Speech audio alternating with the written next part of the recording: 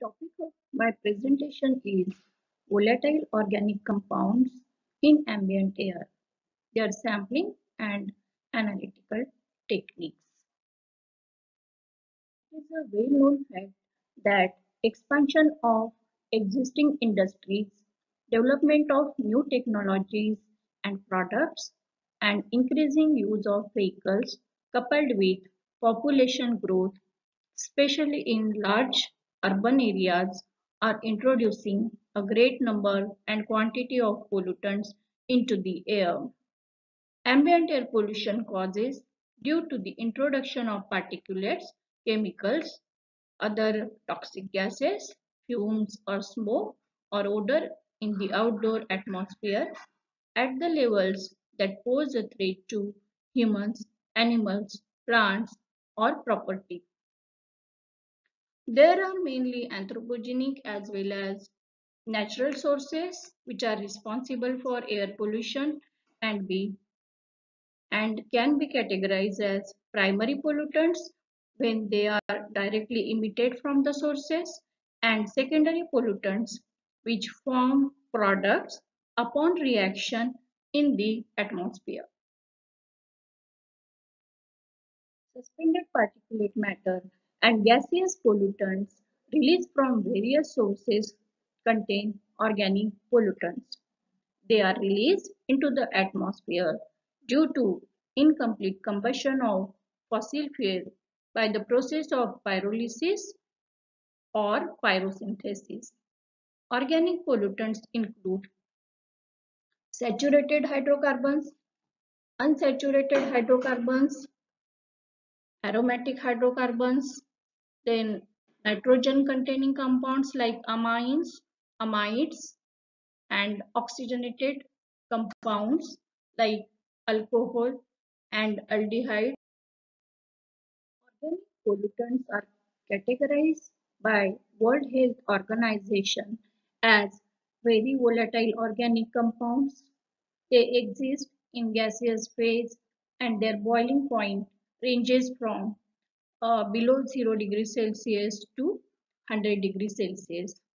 Compounds like methylene chloride, propane, etc. belong to this group. Volatile organic compounds uh, is the second group and their boiling point ranges from 50 degrees Celsius to 260 degrees Celsius. It includes benzene, formaldehyde, etc. They exist in gaseous phase. In third group belongs semi-volatile organic compounds. They exist in gaseous as well as in particulate phase.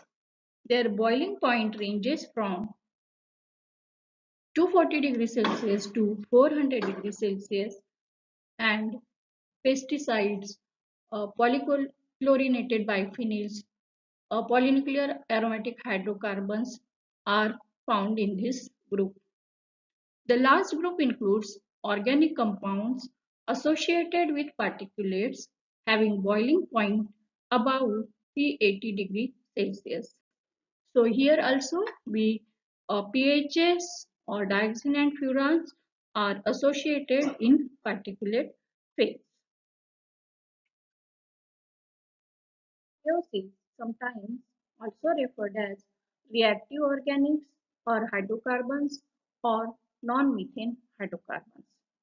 The definition given by USEPA is that the VOCs are organic compounds having a vapor pressure greater than 10 Pascal at 25 degrees Celsius, a boiling point less than or equal to 260 degrees Celsius, measured at a standard atmospheric pressure of 101 kilopascal and it may contain a 15 or less number of carbon atoms. So large number of compounds are included in this group. They are classified as oxygenated compounds like alcohols, ketones, aldehydes, ethers, organic acids, esters, ketones, carbonyls, and phenols, etc. Second is the nitrogen containing compounds that include amines, amides, nitroaromatic hydrocarbons, and nitrosamines. Halogenated VOCs like carbon tetrachloride, alkanes like hexane, pentane, etc., alkenes like 2-buty, and aromatic hydrocarbons like benzene are included in this group. VOCs are emitted in the atmosphere by natural as well as anthropogenic sources. Natural sources of VOC include emissions from fossil fuel deposits, volcanoes, oceans, bacteria, microbes, wild animals, degradation of organic matter, and vegetation. So vegetation produces uh, compounds like isoprene, pinene, monoterpenes, etc. The emission of biogenic VOCs consisting of isoprene and monoterpenes accounts for almost 90% of total global emission. VOCs are released from anthropogenic sources due to fossil fuel combustion. They are emitted by power plants, industrial, commercial, and institutional sources, residential heaters and boilers, petrochemical industries, dry cleaners and service stations, crude oil production, and wood processing in sawmill. VOCs are also released from emissions from vehicular exhaust. Exhaust from non-road vehicles and engines such as boats, ships, aircraft, snowmobiles emit VOCs in the air. VOCs are also released from activities such as farm and construction equipment, lawn mowers, chainsaws, etc. Uh, fugitive emissions that occur during fuel filling at station from exhaust and evaporative VOC components during fuel adulteration from landfill waste and from food manufacturing processes. Other activities that releases VOCs into the atmosphere are pharmaceuticals, domestic waste, tobacco smoke, biomass and open burning, cow dung burning, incense burning, then painting, cooking, cutting grass, and emissions from refrigerants. After the release of VOCs into the atmosphere, their removal from the atmosphere takes place through various processes. VOCs and NOx, they act as the precursor in the formation of photochemical oxidants. They react in the presence of sunlight to form tropospheric ozone through a complex set of reactions.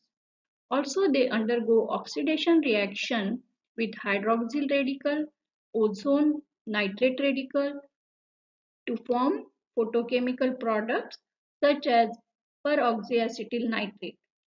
Some products formed may further be oxidized to form CO2 and water. They undergo nucleation reaction to form secondary organic aerosol. Photochemical products of VOCs may get deposited on existing aerosol by the process of advection. They get transported to remote region and participate in remote region chemistry resulting in biological uptake of VOCs and secondary products. They are also removed by wet and dry deposition, washout by rain, and by the process of convection, they participate in upper tropospheric chemistry resulting in the depletion of ozone. We get exposed every day to atmospheric VOCs existing around us. It can be for short duration or it may be long-term exposure. Short-term exposure to VOCs may result in sensory irritation, unpleasant odors, nausea and headaches, increased irritation of the respiratory tract, then chronic cough, chest tightness, decreased pulmonary function, stress, dizziness, absenteeism, loss of productivity, allergy, wheezing, and unspecific hypersensitivity. Narcotic effects can also be seen. And long-term exposure to VOCs may cause lung cancer, leukemia, neurotoxic, hepatotoxic, and genotoxic effects can be observed uh, if the person gets exposed uh, to VOCs for a long duration. Benzene 1,3-butadiene and formaldehyde account for 68% of the risk, cancer risk, whereas in comparison, particulate matter accounts for only 28% as stated by USEPA. Benzene is associated with the development of leukemic cancer in humans. It is included in group 1 that is confirmed human carcinogen by International Agency for Research on Cancer. It is also included in group A that is the known human carcinogen by US EPA. Airborne benzene is primarily absorbed through the respiratory tract and then transported by blood to critical target organs like uh, blood system, nervous system, uh, liver, kidneys and mucous membrane. Details on specific health effects of each specific VOCs can be found in the Agency for Toxic Agency for Toxic Substances and Disease Registry Toxic Substances portal.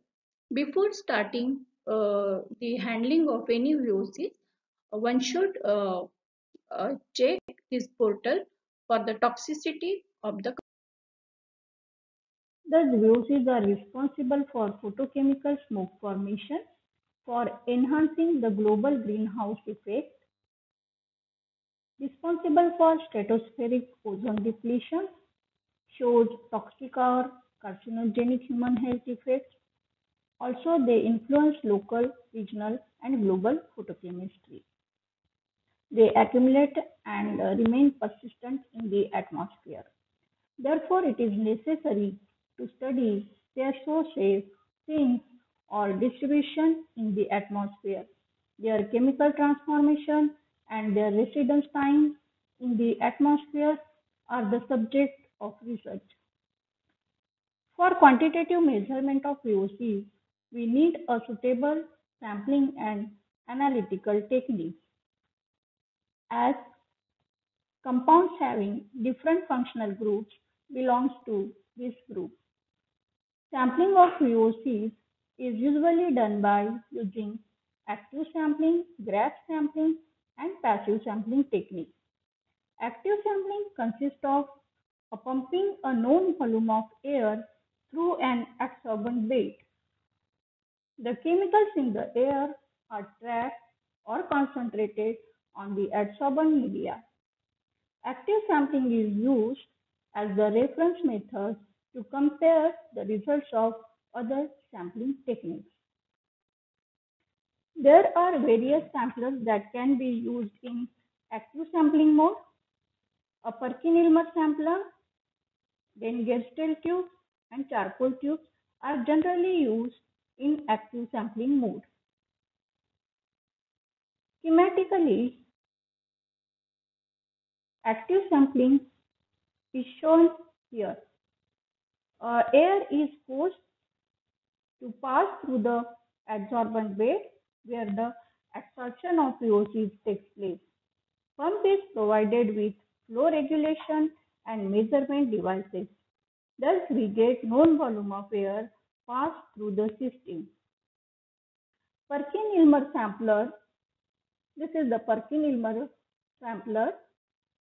Uh, it is a long stainless steel tube packed with suitable adsorbent.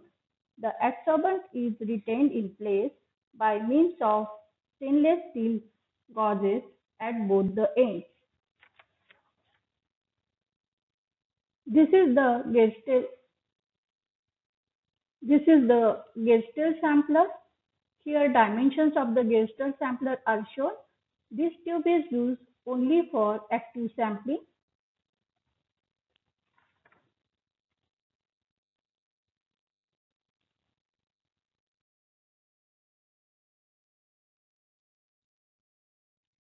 This is a charcoal tube and can be used for active sampling. It is fitted with a charcoal provided with two layers separated by foam. Separated by foam. The second layer is provided to avoid the breakthrough of the pollutants. The advantages of using these methods are that they are less expensive methods, but uh, they may be subject to breakthrough problems and they may require special handling to prevent sample deterioration during transport to lab for analysis. So while selecting the methods, you have to consider. Here we are going to see uh, uh, what are the diffusive sampler. A diffusive sampler is a device which is capable of taking samples of gas or vapor pollutants from the atmosphere at a rate controlled by a physical process such as diffusion through a static air layer or permeation through a membrane, but it does not involve the active movement of air through the sampler. The analytes are adsorbed at a rate controlled by molecular diffusion. Diffusive sampling rates are mainly governed by a physical process of diffusion and physical dimensions of the sampling device. Here, uh, this is a Perkin-Elmer tube. Perkin-Elmer tube. Uh, we can use this tube in a diffusive mode. Analyte molecules diffuse through the sampling end. Sampling end, which is equipped with a diffusion cap. This is the diffusion cap containing a gauge disc for a diffusion distance that is typically 15 mm before they are trapped in the adsorbent. These samplers are reusable after desorption. So here uh, you have to replace uh, storage cap with this diffu diffusion cap. After the sampling, the diffusion cap is to be replaced with storage cap. This is a this is a Radiello sampler driven by the concentration gradient. The gaseous molecules pass through the diffusive surface and are trapped on the adsorbing surface. This is a batch type of sampler. Uh, here air is sampled through a diffusion matrix, diffusion matrix and gets adsorbed on the material which is placed in the housing body. During the sampling, the cover, this cover is to be fixed with over this housing body and here solvent is required for the extraction of there are several advantages of using passive sampling method. It is a simple, reliable, cost-effective technique. It can be used to monitor for a longer duration. It does not require supervision. It is noiseless. It is non-flammable. Here no pump is required while sampling. They are easy to deploy and retrieve. No use of solvent or very little use of solvent is required. They can be used to measure time weighted average concentrations. But while using this uh, sampling, higher humidity can produce errors in the result. Possible back diffusion of pollutants may occur. Possible interferences between compounds may occur and for quantification purpose, uh, we, need, we require sampling or uptake rates for each compound. Here it is a grab sampling and it is done for a short duration of time. For the purpose of sampling, glass tubes filled with adsorbents, stainless steel containers, gas sampling bulbs made of glass, gas sampling bags uh, such as Tedlar, Teflon, aluminum Tedlar bags are used to collect samples. Uh, this technique uh, is simple to use. It is a very least expensive technique. Temporal variability can be measured. Uh, they can be transported to remote places for monitoring purpose. This technique is suitable for large survey. Minimal manpower is required and uh, we get instantaneous concentration of the pollutants. Uh, but it may involve extractive sampling. Then some samplers are permeable to certain chemicals. Uh, they may lose significant amount of sample when stored for prolonged periods and they show a memory effect if improper cleaning is not done after the use. Here some, uh, here this is the Tedlar bag, this is glass gas sampling pump. You have to use pump for the collection of. So this is the stainless steel canister. Uh, so canister sampling involves the collection of the whole air matrix in a pre-cleaned evacuated cylinder. This technique is especially useful for the most volatile species. Each canister is passed through passivation process. Uh, it is the process done to improve the corrosion resistance of stainless steel parts. Prior to their use, the canisters must be carefully cleaned and evacuated in order to avoid contamination. Uh, these uh, samplers can be used in two modes. You can uh, perform grab sampling or time integrated sampling. So uh, time integrated sampling is the collection of mix of grab samples from different points. With this method, uh, multiple aliquots are possible for analysis.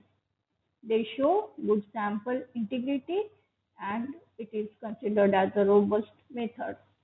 But comparatively, it is more expensive method than other sampling methods and requires special handling to prevent sample deterioration during transport to lab for analysis. So solid phase microextraction technique includes sampling, pre-concentration, and direct transfer of the analytes into a gas chromatograph. So here you need not to perform solvent desorption and thermal desorption techniques to make them compatible with the analytical technique.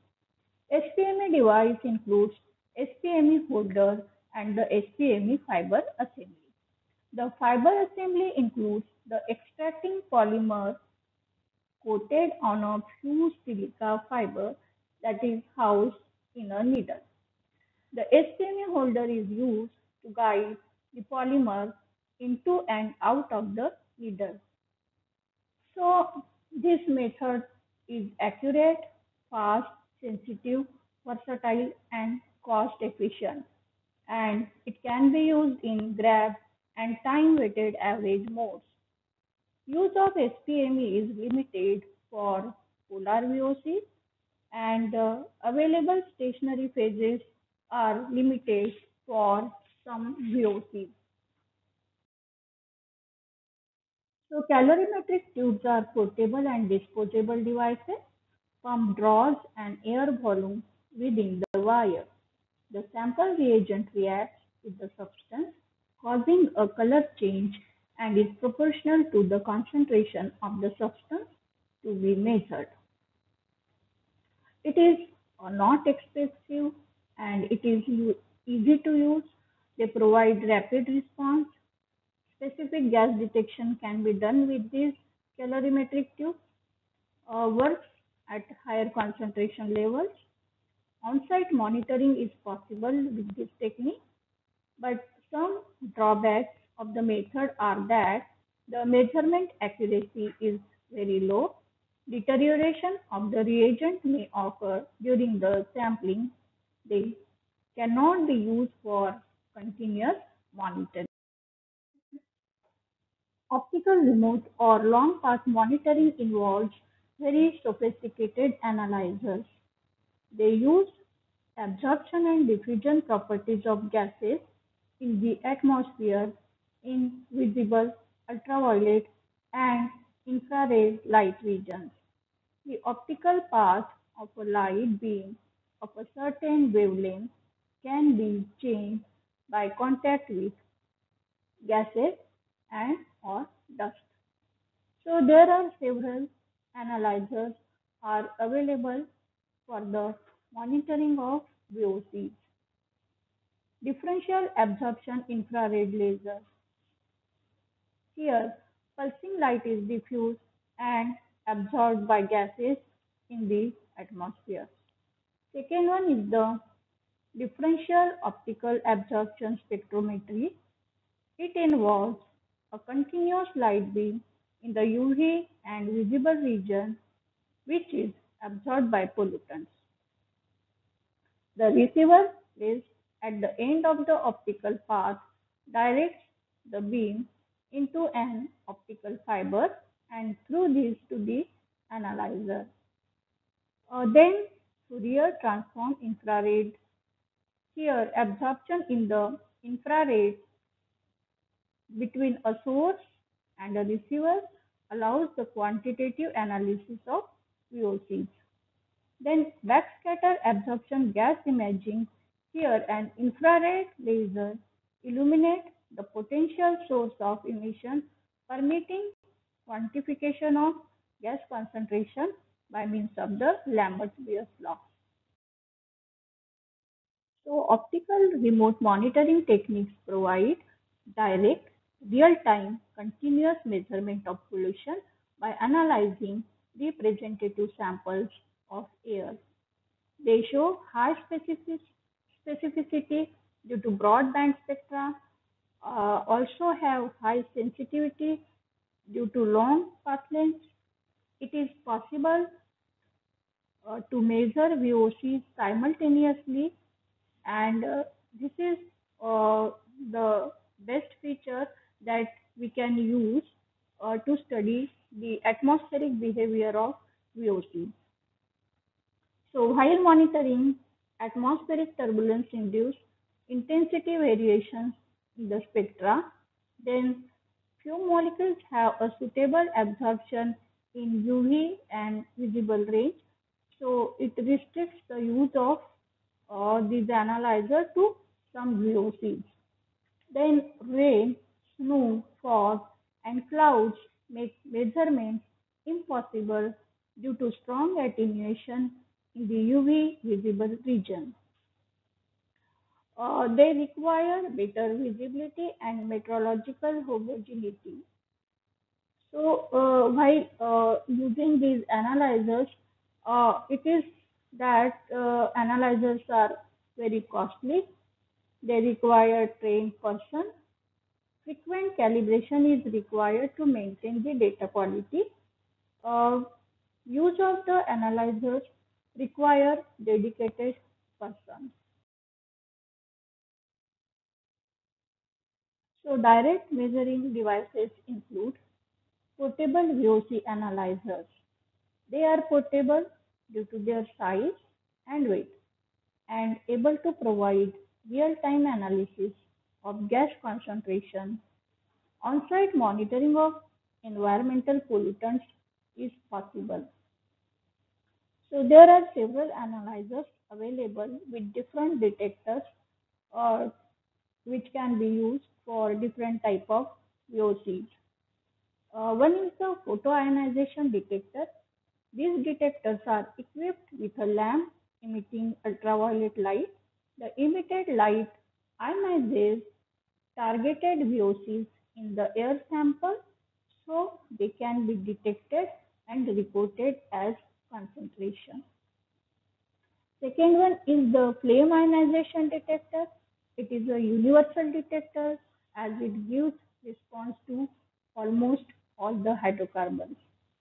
Here, sample air is channeled through a chamber where a flame ionizes it, measuring the concentration as a function of electric potential.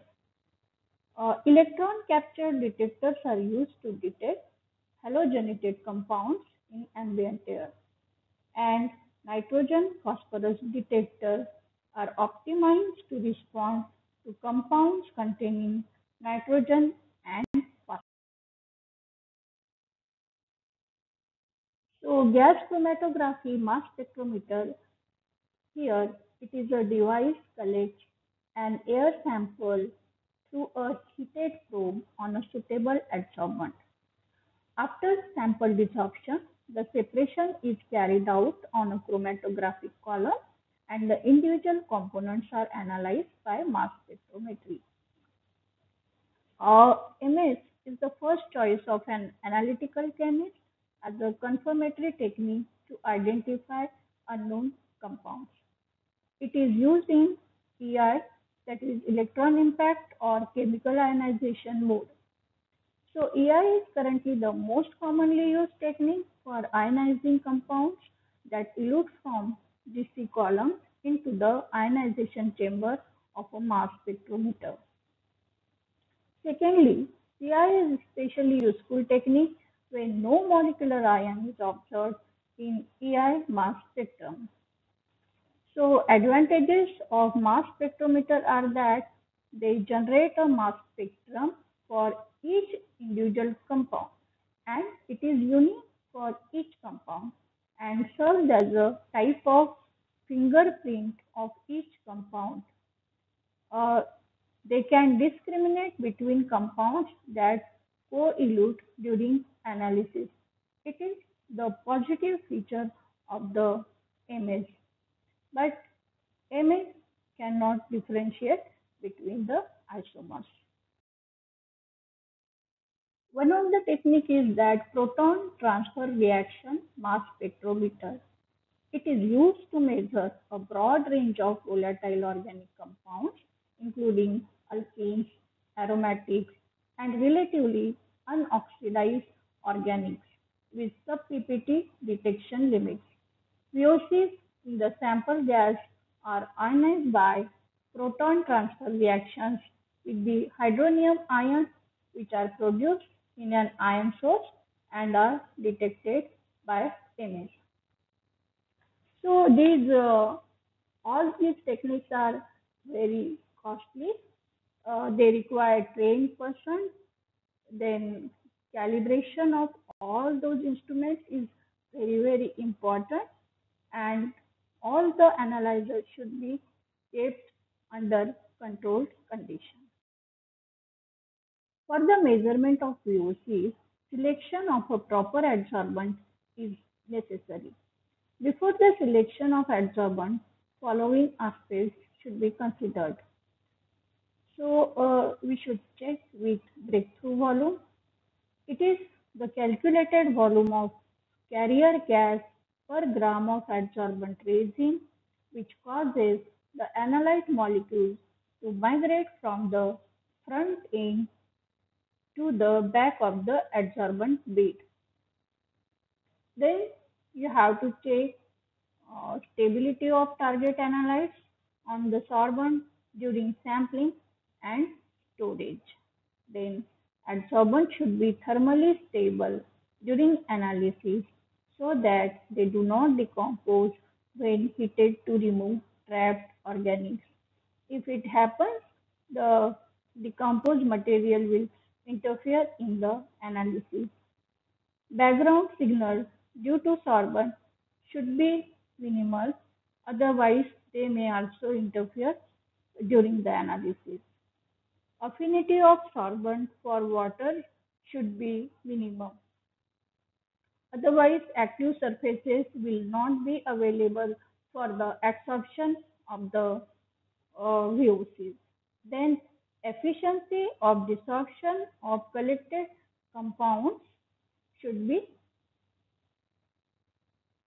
proper. Here some uh, commercially available adsorbents are listed. Adsorbent used for VOC collection, their type, composition and their temperature limit is shown. So here uh, you can see that carbon molecular sieve, then activated charcoal, graphitized carbon black, silica, octadecyl silica, Florisil, Tenax TA, Chromosorb are used for different VOCs and they are categorized further as a uh, like uh, here. One is the inorganic carbon based second is categorized as inorganic silica and alumina based and third one is the organic polymers some more adsorbents are shown here like Chromosorb Porapak pdms DV, dvd so they are also used in various uh, uh, for the analysis of. So uh, are strongly bound to the sorbent during the sampling. Therefore, it is necessary to make them compatible with analytical instruments. Enrichment of the sample is of vital importance because samples are sometimes too dilute or too complex and need to undergo a chain of specific treatments to make them compatible with analytical techniques. The strength of the interaction between adsorbent and adsorbate determines the required desorption state. So, there are generally two methods are available for the desorption of adsorbed VOCs. solvent desorption system. Here we use solvents. They can destroy strong adsorbent analyte interaction. While selecting, uh, we should check that solvent should have good extraction efficiency for the adsorbed species. Uh, several solvents are used like diethyl ether, dichloromethane, methanol, and carbon disulfide. Uh, we use the solvents depending on the functional groups of VOCs. The commonly used solvent for VOCs is carbon disulfide. This solvent provides a good recovery of volatile hydrocarbons from activated charcoal, but it is very toxic itself and can easily be contaminated due to its ability to absorb some organic compounds like benzene vapors from air. So there are advantages uh, while we use solvent desorption system uh, that aliquot of the extract is used for analysis. Here duplicates are possible. That means we can do multiple analyses. Concentration of analyte can be optimized. If the concentration is less, we can reduce the volume of the sample and if it is highly concentrated, then we can dilute it. Some compounds require derivatization before analysis, so it permits analyte derivatization. But a small fraction of the extract is used while analysis so therefore, rest of the sample cannot be used, thereby decreasing the detection limit of the Second method is the thermal desorption method. Capillary GC compatible thermal desorption technology is available commercially since 1981. Here, analytes adsorbed by solid sorbent are released by thermal action to a GC column during the analysis. Material supply applied in automatic thermal desorption are mainly carbon-based materials such as activated carbon. They can be carbon molecular sieves or porous organic polymers.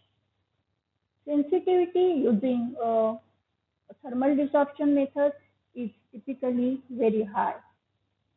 Here no solvent is required, then limited to GC analysis and thermal stable compounds. Uh, it can be used for routine measurements. Then here wide range of compounds can be analyzed at one time. Because in solvent desorption system, when we select solvent, uh, we select it according to the uh, uh, according to uh, like dissolves like uh, technique. But here we are putting all the material all together uh, in the column. So we can get a wide range of compounds. It is not suitable for analysis requiring derivation or the compounds that are thermally labile. This is the schematic set of thermal desorption system. It includes uh, thermodesorber, cryotrap, and GC column and detector. So, in the thermodesorber, the analytes are thermally released and are transported to cryotrap. Cryogenic cold trapping is used for narrowing the bands and improving the detection limit. Nitrogen gas or Peltier cooling is generally used to decrease the temperature. Temperature programming is done to release the condensed VOCs, which enters into the column and can further be detected. In summary, uh, VOCs exist in ppb or ppt levels and hence sample pre-concentration and use of sensitive detection methods are necessary. Several standard sampling and analytical methods are available to analyze various VOCs. Each method has its own application range and limitations. Therefore, it is necessary to select suitable method according to the properties of VOCs such that vapor pressure, boiling point, polarity of a target compound. Here are some standard methods for VOCs available from International Standard Organization, European standards and from US EPA to determine VOCs in ambient air are listed. Methods mainly deal with active and passive sampling and thermal and solvent desorption techniques. So one can select the proper method. We use the standard methods to determine the levels of toxic VOCs. These levels are to be compared with air quality standards. So the reason for developing pollution standards is to ensure that the air quality provides a healthy environment by controlling the concentration of pollutants. Standards for outdoor air quality exist and are relied on to protect the general population. Guideline value given by European Committee is 300 mg per cubic meter for total volatile organic compounds. In India, National Ambient Air Quality Standards for benzene given by CPCB is 5 mg per cubic Here, National Ambient Air Quality Standard uh, for benzene is shown. Uh, it is a time-weighted average. Uh, annually, it should be 5 mg per cubic meter. So TWA is the average rate at which worker is exposed to a contaminant. And this benzene uh, standard is applicable to industrial, residential, rural, and other areas. It is also applicable to ecologically sensitive areas.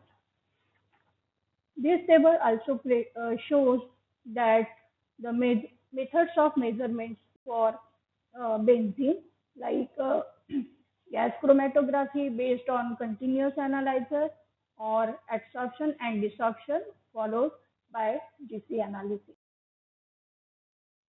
With the discussed sampling and analytical techniques, one can check the levels of benzene and compare with standards, whether the levels are exceeding the standards, what control measures are to be taken to minimize the concentration.